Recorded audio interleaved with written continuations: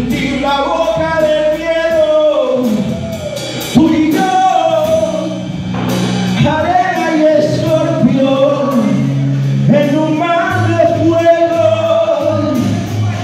buscando la quimera bajo el peso de la noche.